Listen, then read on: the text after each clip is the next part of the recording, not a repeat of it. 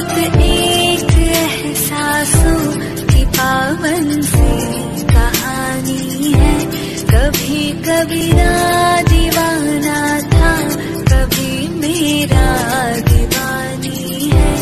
यहाँ सब लोग कहते हैं, मेरी आँखों में आँसू है। जो तू समझ